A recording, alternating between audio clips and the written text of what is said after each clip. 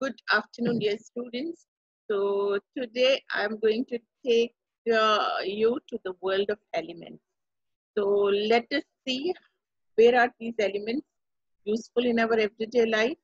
Uh, and uh, the assignment given to you is also after we complete this uh, today's topic, you all have to go back and see that in and around in your home only. I don't want you to go out or search something inside your home, inside your kitchen, where do you find these elements? This is your assignment and let us start with today's topic.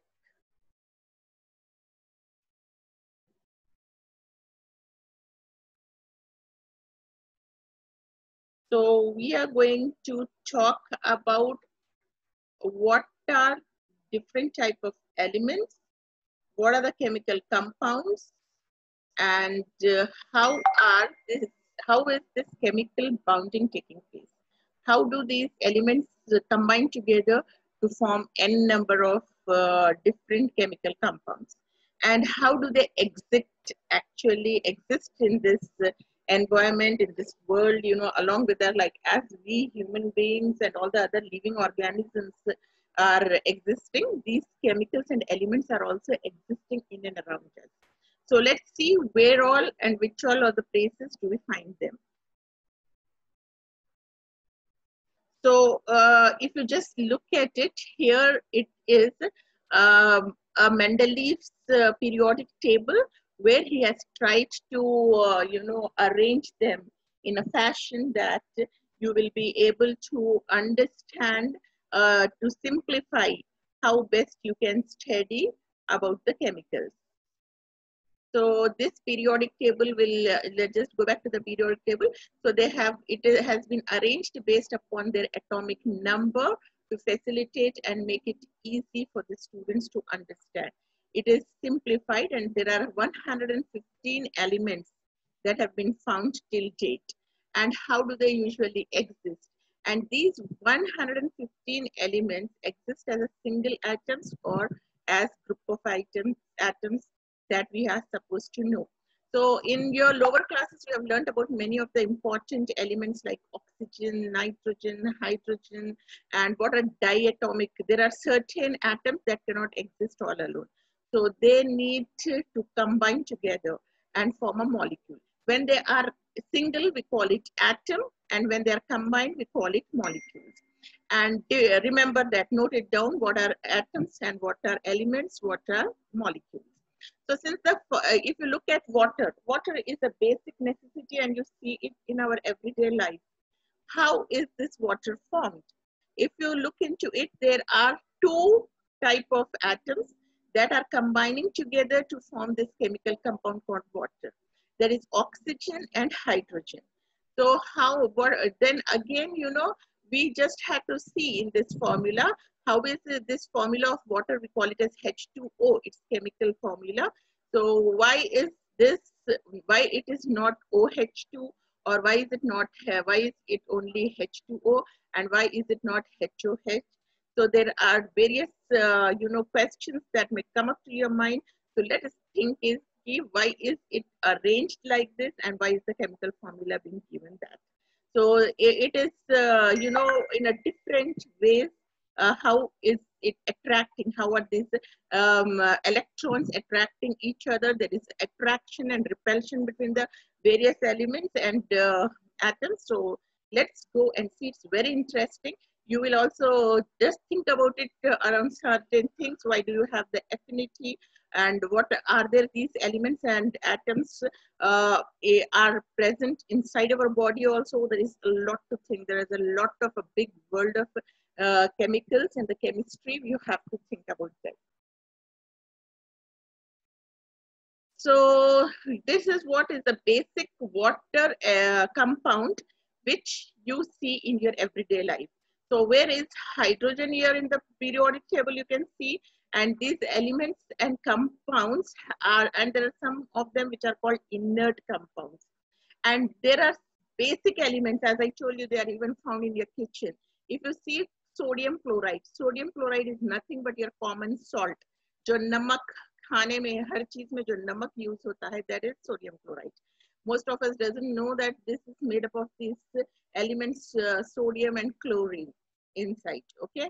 So uh, this sodium chloride is why also the chemical formula for water is H2O and sodium chloride is NaCl.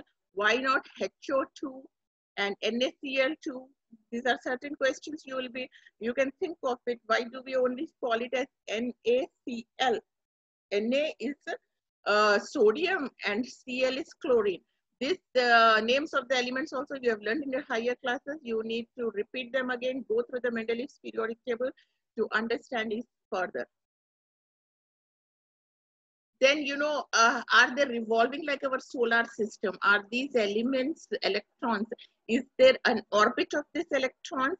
And how are this, uh, me, uh, uh, I mean, revolving around the nucleus? Is there some body uh, force of attraction? Is there a force of repulsion? What is that making these elements maintain their valencies? What are other valencies and other things we will uh, definitely go in detail and it's very interesting. And before i explain also i would like you all to go through what is what are what are the meaning of valencies and how do these elements react? What is attraction what is repulsion and what is chemical bounding uh, and this is how you know uh, it has been it's something an abstract imaginary way where we imagine that these electrons are revolving around the uh, proton in this fashion.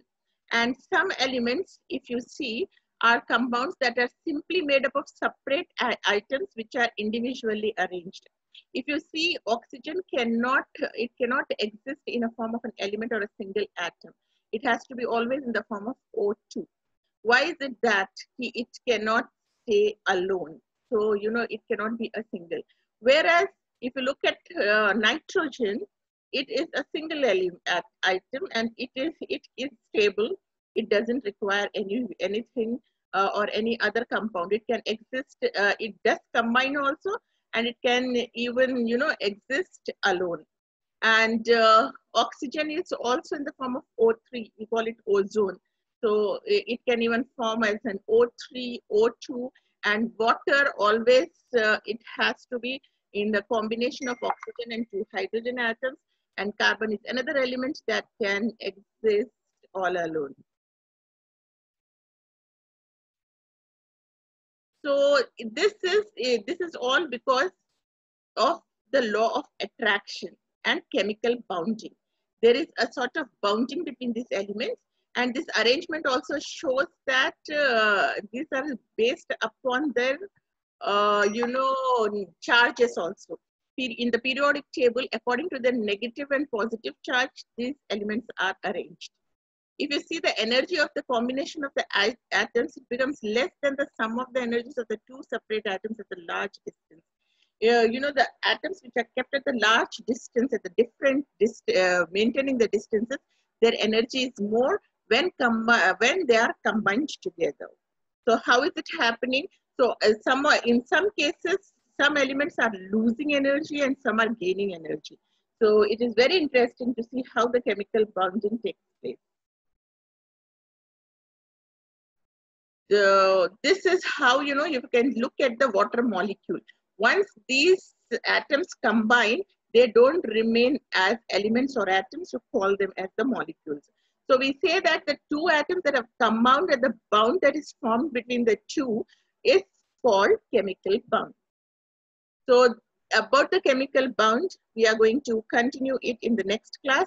Till then, your homework is to make sure that find out how many elements you could uh, see in your home, especially in your kitchen, and then come back and tell me what all you are. You have to post me the list of elements you have found inside your house, elements, compounds, molecules, what all you are finding it in the home, submit that list, and then we are going to go ahead with a very interesting, uh, you know, uh, uh, activity that elements take place, and that is called as a chemical bounding.